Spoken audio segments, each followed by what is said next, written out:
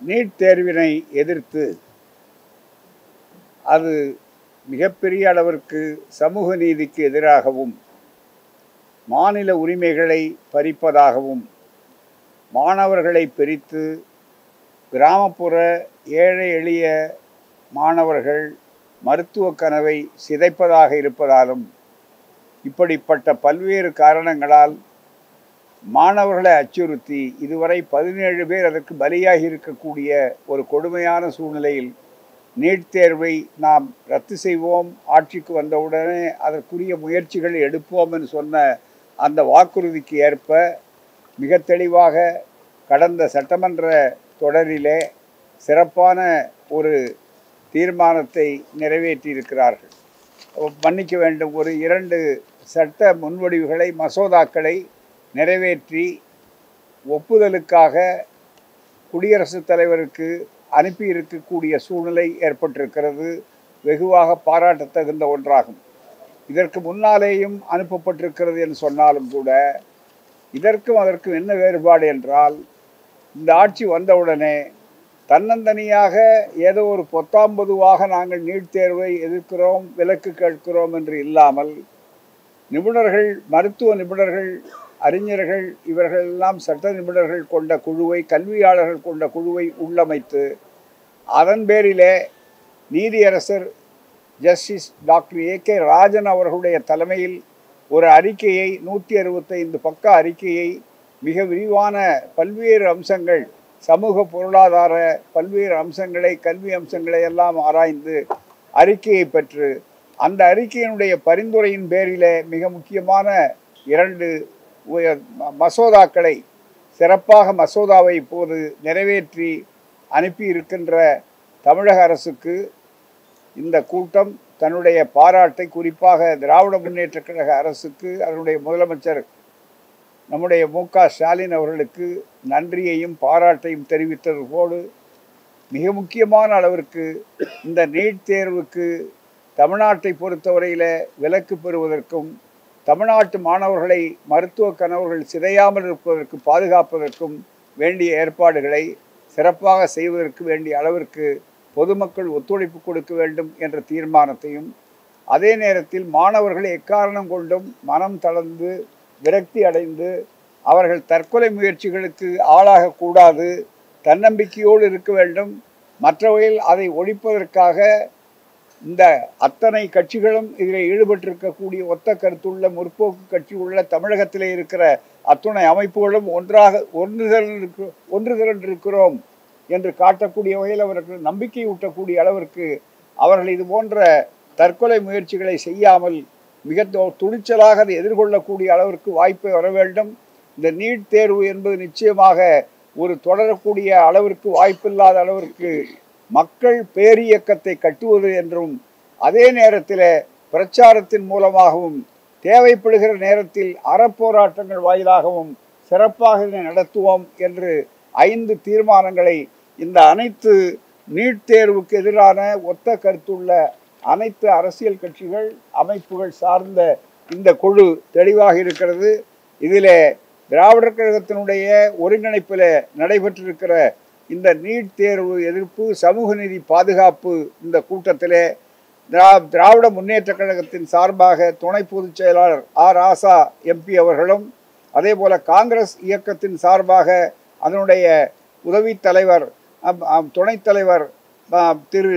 ஆ. கோபண்ணா அவர்களும் விடுதலை சிறுத்தைகள் கட்சியின் சார்பாக எழுச்சி தமிழர் தொல் திருமாவளவன் அவர்களும் அதே போல் இந்திய கம்யூனிஸ்ட் கட்சியின் சார்பாக மார்க்சிஸ்ட் கம்யூனிஸ்ட் கட்சியின் சார்பாக தோழர் கே. பாலகிருஷ்ணன் அவர்களும் அதே போல மறு மதிமுகவினுடைய சார்பில் தோழர் வந்தியத்தேவன் அவர்களும் மனிதநேய மக்கள் கட்சியின் சார்பாக பேராசிரியர் முனைவர் ஜவஹர்லா அவர்களும் திராவிடர் இயக்க தமிழர் பேரவையின் சார்பாக சுபவீரபாண்டியன் அவர்களும் பொதுப்பள்ளிக்கான மாநில மேடையின் சார்பாக பிரின்ஸ் கஜேந்திர பாபு அவர்களும் அதே போல இந்திய கம்யூனிஸ்ட் கட்சியின் சார்பாக டாக்டர் ரவீந்திரநாத் அவர்களும் இந்திய முஸ்லிம் யூனியன் முஸ்லீம் லீக் அமைப்பை சார்ந்து அதனுடைய மேனாள் சட்டப்பேரவை உறுப்பினரும் பொறுப்பாளருமான அருமை திரு முகமது அபுபக்கர் அவர்களும் தமிழக வாழ்வுரிமை கட்சியின் சார்பாக சத்திரியன் வேணுகோபால் அவர்களும் இதில் கலந்து கொண்டிருக்கிறார்கள்.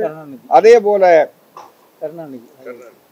அனைத்து இந்திய பிற்படுத்தப்பட்டோர் அமைப்பினுடைய கூட்டமைப்பினுடைய பொதுச் செயலாளர் கருணாநிதி அவர்களும் கலந்து கொண்டிருக்கிறார். எனவே பன்னிரண்டு அமைப்புகள் சார்பாக கூட்டப்பட்டிருக்கிற இந்த கூட்டம் ஐந்து தீர்மானங்களை வடிவெடுத்திருக்கிறது. அதில் அந்த தீர்மானத்திலே மிக முக்கியமாக பெருந்திரள் மக்கள் எழுச்சி இயக்கமாக பெரிய அளவிற்கு மாநாடுகளை நடத்துவது அதுவும் மிக முக்கியமான நகரங்களாக இருக்கக்கூடிய நகரங்கள் சென்னை மதுரை கோவை மற்றும் இது போன்ற மிக முக்கியமான டெல்டா பகுதி மற்ற பகுதிகள் அத்தனையிலும் மக்களுக்கு அறிவூட்டக்கூடிய அளவிற்கு கொரோனா காலத்தில் விதியை மீறாமல் மிக தெளிவான அளவிற்கு வாய்ப்புள்ள அளவிற்கு பிரச்சாரத்தை அந்த கனன்று நடந்து கொண்டிருக்க வேண்டும் என்பதற்கான ஏற்பாடுகளை செய்வதென்றும் தீர்மானம் இருக்கிறது. இந்த நீட் தேர்வுக்கு இது தமிழ்நாட்டிலிருந்து ஒழிகின்ற வரையில் தொடர்ந்து அதை விரட்டப்படுவதற்கு வரையில இந்த போராட்டங்கள் முன்னெடுக்கப்படும். ஒவ்வொரு காலகட்டத்தில் இந்த போ- அடுத்த கட்டம் போராட்ட கட்டமாக இருக்கும். அவ்வப்போது இந்த குழு சேர்ந்து ஆராய்வு செய்து நிச்சயமாக இந்த நீட் தேர்வுக்கு எதிரான ஒரு தொடர் போராட்டத்தை நடத்துவோம். நுழைவுத் தேர்வை பொறுத்தவரையில் முன்பு எம்ஜிஆர் அவர்களுடைய காலத்திலே கொண்டு வர போது ஏறத்தாழ ஒரு பதினைந்து ஆண்டுகளுக்கு மேலால் தொடர்ச்சியாக போராட்டம் நடத்தி தான் இறுதியிலே வெற்றி பெற்றோம். அதே போலத்தான் இப்போதும் தொடர்ந்து நீட் தேர்வுக்கு எதிரான அளவிற்கு வாய்ப்புகள் இருக்கின்றன. முன்பு தெளிவு பெறாத அல்லது எழுச்சி பெறாத மாநிலங்கள் எல்லாமிலே கூட ஒத்து உழைக்கக்கூடிய அளவிற்கும் இன்றைக்கு பெற்றோர்கள் மத்தியிலும் மாணவர்கள் மத்தியிலும் இது தெளிவான ஒரு சூழல் ஏற்பட்டிருக்கிறது என்பதற்கும் இந்த ஏற்பாடுகள் செய்கின்றன. மாணவர் இயக்கங்கள் ஆங்காங்கு எழுச்சியோடு திரட்டப்படும். மாணவர்களுக்கும் இந்த இயக்கங்களை உடைய பயனை தெளிவாக ஆக்கி ஒரு நல்ல நம்பிக்கையை ஏற்படுத்துவோம். என்பதுதான் இந்த தீர்மானங்களுடைய மிக முக்கியமான வாசகங்கள் சாராம்சம். தீர்மானங்கள் உங்களுக்கு வழங்கப்படும்.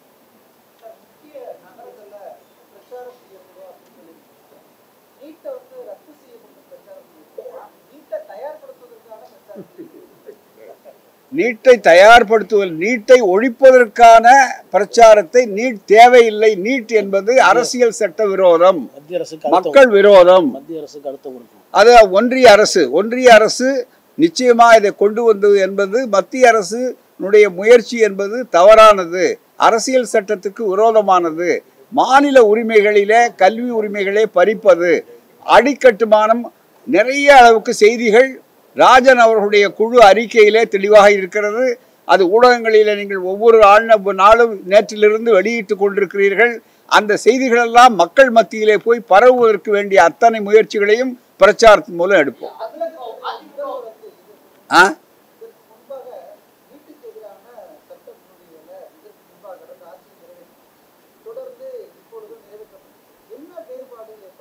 அதாவது முதல்ல இருந்ததுக்கும் இதுக்கும் என்ன வேறுபாடுங்கிறத தீர்மானத்திலேயே தெளிவுபடுத்தியிருக்கோம். முதல்ல எந்த விதமான குழுவும் போடலை. குழு போடாதனால என்ன ஆயிருக்குன்னு சொன்னால் அந்த மாதிரி அளவிற்கு தானாகவே தான் வெறும் சட்டம் சென்ற ஆட்சியில் இருந்தது. அது மட்டுமல்ல அவர்கள் அதை வாய்ப்பு ஏற்படும் போதெல்லாம் அழுத்தம் கொடுக்கல. ஆனால் இந்த அரசு அப்படி அல்ல. தானாக செய்யாமல் ஏதோ நாங்கள் இதை கொள்கை ரீதியாக முன்னாலே நிறுத்துகிறோம் என்று மட்டும் சொல்லாமல் அறிஞர்கள் குழுவை ஜஸ்டிஸ் ராஜன் அவர்களுடைய தலைமையில் மருத்துவ அறிஞர்கள் கல்வியாளர்கள் இவர்கள் எல்லோரையும் கலந்து பொருளாதார மற்ற புள்ளி விவரங்கள் ஆய்வுகளை எல்லாம் கொடுத்து நூற்றி அறுபத்தைந்து பக்கம் உள்ள ஒரு அறிக்கையை கொடுத்து அந்த அறிக்கையினுடைய சாராம்சங்களை எடுத்து உள்ளடக்கி அதை ஆப்ஜெக்ஷன் ரீசன் என்று அந்த மசோதாக்கள் கொண்டு வருவதற்கு நோக்கங்களை தெளிவுபடுத்தி இவ்வளவும் உள்ளடக்கி இருக்கிற காரணத்தால் எளிதில் அவர்கள் நிராகரிக்க சட்ட ரீதியாக முடியாது. அதற்கு முன் உதாரணம். ரெண்டு சட்டத்துக்குள்ள ஆப்ஜெக்ஷன் ரீசன் ஆமா படிச்சா ரெண்டுமே அடிப்படையில ஒரு பெரிய அளவிற்கு காரண காரியங்கள் விளக்கப்பட்டிருக்கிறது. முதலில் இந்த அளவுக்கு தெளிவான காரண காரியங்கள் விளக்கப்படவில்லை. அதற்கு ஒரு எப்படின்னா உங்களுக்கு நம்பிக்கை என்று நீங்கள் கேட்கலாம். பிடிவாதம் அரசியல் ரீதியான பிடிவாதமாக இருந்தால் ஒன்றும் செய்ய முடியாது. அரசியல் ரீதியாக அதை சந்திக்க வேண்டியதுதான். அதற்கு மக்களை தயாரிப்பது என்ற பணியும் இந்த ஒரு பக்கத்தில் நடந்து கொண்டிருக்கிறது. சட்ட போராட்டம் மக்கள் போராட்டம் என்று இரண்டு நடந்து கொண்டிருக்கக்கூடிய சூழ்நிலை இருந்தாலும் அடிப்படையில் ஒரு உதாரணத்துக்கு உங்களை சொல்லுகிறேன். ஏற்கனவே இந்த நுழைவுத் தேர்வு அதாவது ஏற்கனவே இருந்தக்கூடிய பழைய நுழைவுத் தேர்வை பழைய காலத்தில் எம்ஜிஆருடைய அரசு கொண்டு வந்தபோது அதை நீக்கி மாற்றி வேண்டும் என்று சொன்னபோது ஜெயலலிதா அம்மையார் அவர்கள் என்ன செய்தார்கள்? நாங்கள் திராவிடர் கழகத்தின் சார்பாக ஒரு கருத்தை எப்போ சொன்னோம். ஒரு அறிஞர் குழுவை கல்வியாளர்கள் குழுவை நீங்கள் நியமித்து அதனுடைய பரிந்துரையை வாங்கி நீங்கள் ஒரு தனி சட்டம் இயற்றுங்கள். அதன் மூலமாக நீங்கள் இந்த இதை மாற்ற முடியும் என்று சொன்னோம். அதை அந்த அம்மையார் கேட்கல முதலமைச்சராக இருந்தபோது ஆனால் அவருடைய ஆட்சி முடிந்தால் அது செல்லாது என்று உயர்நீதிமன்றத்தில் தீர்ப்பு கொடுத்தார்கள். ஆனால் அதற்கு அடுத்து கலைஞர் அவர்கள் வந்தபோது டாக்டர் அனந்தகிருஷ்ணன் அவருடைய தலைமையிலே ஒரு குழு என்று போட்டு அந்த குழுவினுடைய அறிக்கைப்படி இதை செய்கிறோம் என்று சொல்லி ஒரு சட்டத்தை நிறைவேற்றார்கள். அந்த சட்டம் இன்று வரையில இருக்கிறது. அந்த சட்டத்தை இன்றைக்கும் ஜஸ்டிஸ் ராஜன் அவருடைய அறிக்கையில அதில் தெளிவாக குறிப்பிட்டார்கள் எனவே தான் அதுக்கு ஒரு முன்னுதாரணமும் உங்களுடைய நம்பிக்கை ஊட்டக்கூடிய ஒரு செய்திக்காக இதை சொல்லுகிறேன். ஆகவே பழையிலே காரண காரியங்கள் இல்லை. இதிலே காரண காரியங்கள் இருக்கிறது. எளிதில் நிராகரித்து விட முடியாது.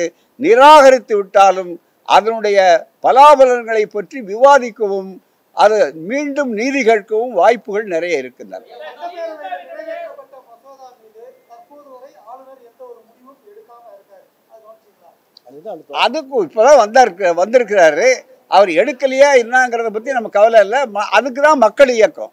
மக்கள் இயக்கமே if public opinion marches forward law will come limping பிஹைண்டன் பழமொழி உண்டு. என்ன என்றால் மக்களுடைய கருத்து முன்னோட்டமாக ஓடிக்கொண்டிருந்தால் பின்னாலே சட்டம் நொண்டி அடித்து கொண்டு வரும் என்று. அதுதான் இதுவரையில மக்களுடைய கோரிக்கைகள் முதல்ல ஏற்காத அரசுகள் ஏற்றிருக்கின்றன.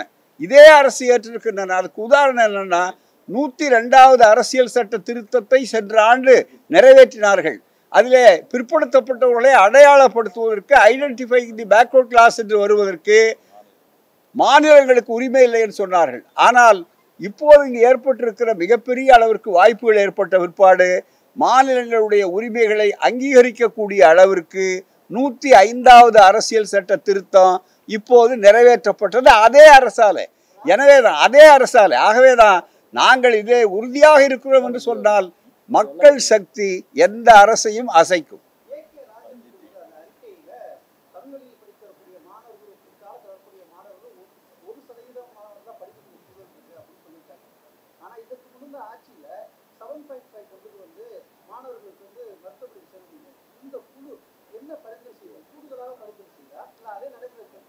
அதாவதுங்க இருக்கிறதுல உள்ஒதுக்கீடுங்கிறது பாருங்க உள்ஒதுக்கீடு கொடுக்கலான்னு உச்சநீதிமன்றத்திலேயே தீர்ப்பு இருக்கு. அந்த உள்ஒதுக்கீடுனால அரசு பள்ளிகளில் முழுக்க முழுக்க வாய்ப்புகள் இல்லாமல் இருந்தது. எனவே கொஞ்சம் நெஞ்சம் கிடைக்கிற வாய்ப்புகள் கூட அது மற்றவர்கள் சிபிஎஸ்சி என்று சொல்லக்கூடிய மற்ற இடங்களிலும் உயர்ஜாதிக்காரர்கள் அல்லது பெரிய பணக்காரர்கள் இவர்கள் பெறக்கூடிய வாய்ப்பை இந்த சட்டத்தின் மூலமாக கிடைக்கிறதுனால அரசு தொடர்ச்சியாக அதை கையாளுகிறது அவ்வளோ ஆ கூடுதலாக பரிந்துரை செய்ய வாய்ப்பு இருக்கா பத்து சதவீதம் கொடுக்க வாய்ப்பு இருக்கா பரிந்துரை இனிமேல் பண்ண முடியும் அது போக போக பார்க்க வேண்டிய செய்தி அவ்வளவுதான் தவிர நம்ம மக்கள் வலியுறுத்தினா தாராளமா இருக்கு. இப்ப நமக்கு வேண்டிய நூறு சதவீதம் கேட்கறது தான் நீட் போராட்டம். நூறு சதவீதம் நமக்கு வேணும்னு கேட்கறது தான். ஏழு அஞ்சு இல்லை இருக்கிறதுக்கு போது அது கிடைக்கட்டுங்கிறது தானே தவிர நூறு சதவீத போராட்டம் தான் நீட் சேர்வு அவ்வளவுதான்.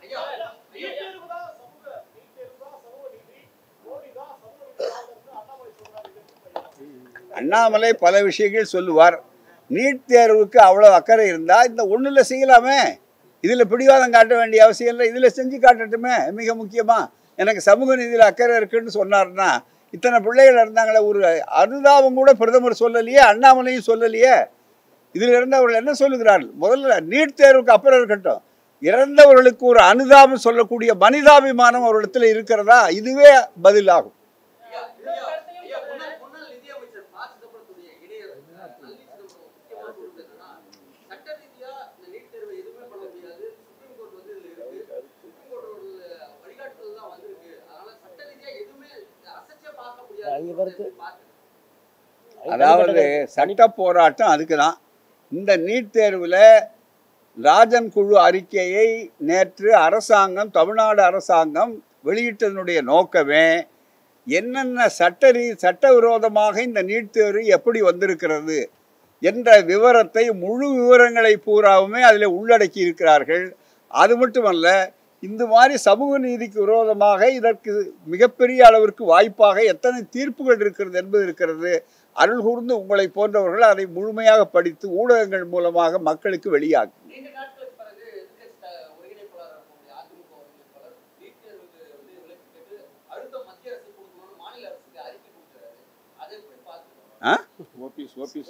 சாத்தான் நதியின் ஓரம் கரையினில் நெருப்பு இடையில் இப்படி ஒரு சிரிப்பு இதுவரை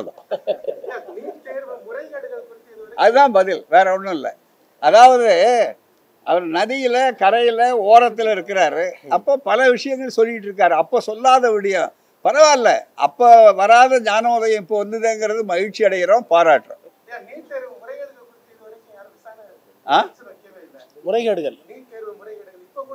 ஆமாம் அதாவது நீட் தேர்வு அவர்கள் எந்த நோக்கத்துக்காக சொன்னார்களோ ஊழல் ஒழிப்பு எல்லோருக்கும் சமநீதி மற்றவர்களுக்கெல்லாம் இல்லாத வாய்ப்புகள் கிடைக்கிறது என்று சொன்னது தோற்று போய்விட்டது என்பதற்கு அவர்களே எடுத்துக்காட்டு நீதிமன்றங்கள் மூலமாக. ஆள் மாறாட்டம் கேள்வித்தாளுக்கு முப்பத்தி எட்டு முப்பத்தி அஞ்சு லட்சம் மிக முக்கியமாக இது எத்தனையும் ஆள் மாறாட்டம். ஒன்று ரெண்டு அல்ல. இது தொடர்ந்து நடந்து கொண்டிருக்கிறது. அண்மையில் நாலு வருஷம் நடந்திருக்கு. நாலு வருஷம் ஊழல் நடந்திருக்கு. கேள்வித்தாளில் ஊழல் வியாபக ஊழலை விட அதிகமான ஊழல் நடந்து கொண்டிருக்கிறது. ஆமாம் அவ்வளோதான் அதாவது பள்ளிக்கூடத்துக்கு போகாமையே அவர்கள் பாஸ் பண்ணலாம் அப்படிங்கிறது தான். இதுவரையில் பள்ளிக்கூடத்துக்கு போகாதவன் மிகப்பெரிய அளவுக்கு போனான் அது மட்டுமல்ல இதுவரையில் நம்ம மாஸ்க் போடுறதுக்காக போட்ட முக முக கவசம் அந்த முகக்கவசமே இப்போ நீட் தேர்வுக்கு ரொம்ப உதவியாக இருக்குன்னு கண்டுபிடிச்சிருக்கிறோம் அதுதான் மிக முக்கியமான லாபம் வேற இல்ல. ஆ? ஆமாம் எல்லா கட்சி தலைவர்களும் அதில் கலந்து கொள்வார்கள். பெருநகரங்களில் அது உட்கார்ந்து முடிவு பண்ணுவோம். அதில் என்ன ஒரே ஒரு சிக்கல்னால் இப்போ இருக்கிற கொரோனா மறுபடியும் மூன்றாவது அலை வரக்கூடும்னு சொல்லக்கூடிய சூழ்நிலையில் அந்த விதியையும் புறக்கணிக்காமல் மக்களும் பாதிக்காமல் அதே நேரத்தில் எப்படியும் இந்த பிரச்சாரமும் தடைபடாமல் செய்யக்கூடிய அளவிற்கு தெரிய உட்கார்ந்து சிந்தித்து தாராளமாக செய்வோம். இல்லையா அதாவது இப்போ முதல்ல சென்னை கோவை இதில் பிரச்சாரத்தில் இந்த ராஜன் குழுவில் இருக்கக்கூடிய கருத்துகள் எப்படி நகர மக்கள் பாதிக்கப்பட்டிருக்கிறார்கள் அவர் அவர் கிராம மக்கள் பாதிக்கப்பட்டிருக்கிறார்கள் எப்படி ஒரு முறை அல்ல ரிப்பீட்டர்ஸ் என்ற வார்த்தையை அதிகமாக பயன்படுத்தி இருக்கிறார் அதில். யாராவது இதில் வெற்றி பெற்று யாராவது போயிருக்கிறார்கள் சொன்னால் மீண்டும் மீண்டும் பணம் கட்டி பயிற்சி எடுத்தவர்கள் மட்டும்தான் போயிருக்கிறார்கள் என்பதற்கு ஆதாரங்கள் சொல்லியிருக்கிறார்கள்.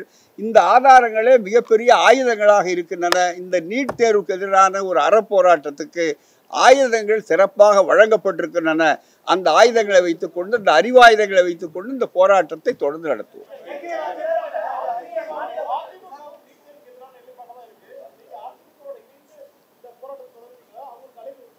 ஆ அதிமுகவும் நீட் தேர்வுக்கு எதிரான நிலைப்பாட்டில் தான் இருக்காங்க நீங்க இந்த போராட்டத்தை அதிமுகவோட இணைந்து தொடர்ந்து பார்க்கிறீங்க அதாவது தேசிய ஜனநாயக முன்னணி என்று சொல்லிக்கொண்டு இருக்கிறவர்கள் இதிலே வரமாட்டார்கள்.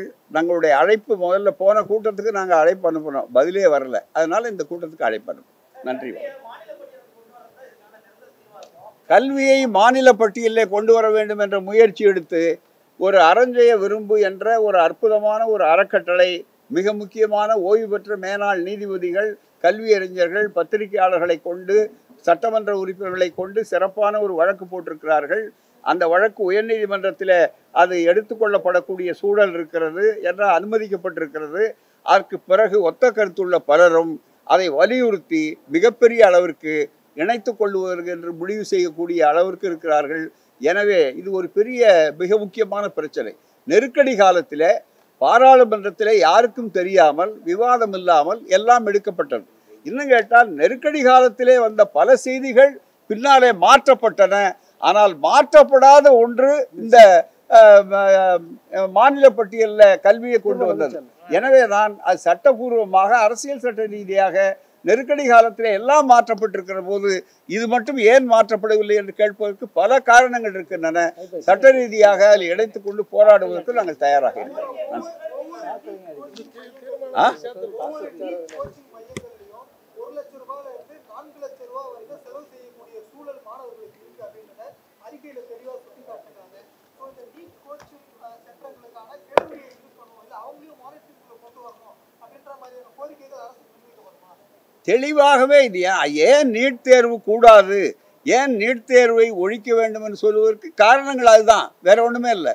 இதுவரையில் பார்த்தீங்கன்னா ஏழை எளியவர்கள் வர முடியாத பயிற்சிக்கலாம் அது வந்து ஒரு பெரிய அளவிற்கு கார்பரேட் தொழிலாக கமர்ஷியலைசேஷன் ஆஃப் எஜுகேஷன் என்று சொல்லக்கூடிய அளவிற்கு கல்வியை வியாபாரமயமாக்குவது வணிகமயமாக்குவது என்று ஆக்கியிருப்பது ஒன்று. அதற்கு அடுத்தபடியாக தனியார் பல்கலைக்கழகங்களில் குறைந்த மார்க் உள்ளவர்களெல்லாம் நீங்கள் இடம் வாங்கலாம் என்று சொல்லி மருத்துவக் கல்லூரியில் வைத்திருப்பதையும் சுட்டிக்காட்டப்பட்டிருக்கிறது. இதில் மிக முக்கியமான அளவிற்கு அதில் சொல்லக்கூடியதுல ரொம்ப மிக முக்கியமானது என்னன்னா அதுக்கு முன்னால் அவங்க தனியாக பணம் கொடுத்தாங்க. இப்போ அதிகாரபூர்வமாக சம்பளத்தை உயர்த்தி கொள்ளுங்கன்னு முப்பது லட்சம் நாற்பது லட்சம் ஒரு கோடி வரையில் இருக்கு. ஆகவே தான் இதில் சங்கடமெல்லாம் இருக்கிற காரணத்தால் தான் நீட் தேர்வு ஏன் ஒழிக்கப்பட வேண்டும் என்பதற்கு நீங்கள் ஒவ்வொரு புது காரணத்தையும் சுட்டிக்காட்டியதுக்கு நன்றி வணக்கம்.